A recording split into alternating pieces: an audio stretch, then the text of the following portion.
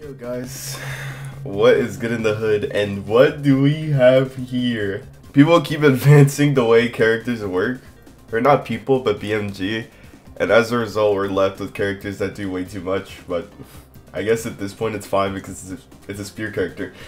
And as you know, um, I'm the best spear player in North America. I, I don't like saying that. I, I hate saying that, but that's the case. So the servers are offline, so for now, I'm just gonna lab this character out and see what we find. What I'm trying to figure out though is why does the D-Sig have a hitbox? You know what I'm saying? If you're gonna give a spear character six signatures at the same time, you should probably get rid of that. I feel like it's just a bit overwhelming considering how many sigs this guy has. No worries about it being true though. Thankfully anyways. And then Sidelight Nsig without the mode is, three frames shorter, but that's fine too. This hitbox is kind of crazy for a mode switch. You could kill somebody while they're mode switching in like dark red. The Nsig already can be, I can definitely, I can definitely see this being really hard to punish. But that is the whole point of the Sig, but make sure it's a bit smaller if you're gonna keep that. Alright, so unfortunate news. T-Light Nsig is true.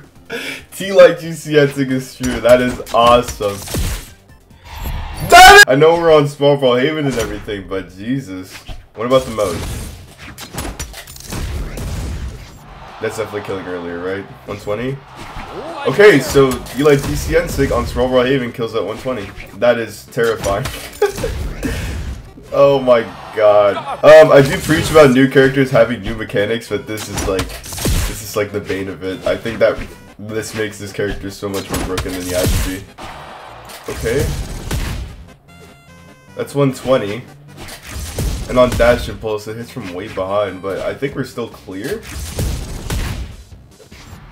Yeah, it's just barely killing on the side. from, from the other side of the screen.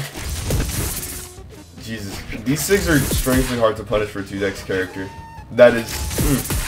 Like, I don't mind, I don't mind if the startup's low and the actives are high, just make sure that it has slow recovery.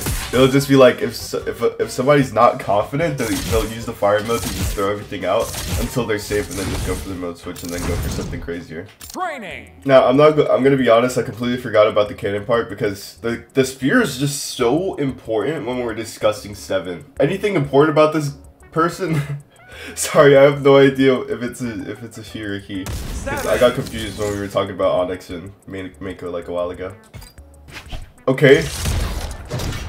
It actually has decent recovery time. Like it, it, it, it can actually be a ledge guard like move that is very that's relatively simple to punish. So I won't I won't be worried about it too much. Now Nsig. I'm honestly kind of surprised they didn't give it the same treatment as side as Nsig or as side sig and just give it like the same like active active hitbox at the front. But it's fine, I suppose. So if you were to go for GC light, and well, you've kind of already done that, and you could always just you could always just have this around as like an extra option. It doesn't kill, thankfully, anyways. But yeah, I mean, hey, it's really convenient. You're gonna be using it all the time, anyways, so you're chilling. I could tell this character might actually just be a nightmare in twos. He's really cool though. Wait, this is actually an insane... Like, this is an insane stack punish actually. Stack punish, I mean. Is it? No, never mind, it covers stack. That is really... That's actually not the worst. It transitions into Nair, which is, makes it even more interesting. Because it just makes this character so perfect. They just added like several different mechanics and just have cannon around as like the as like the, the cherry on top.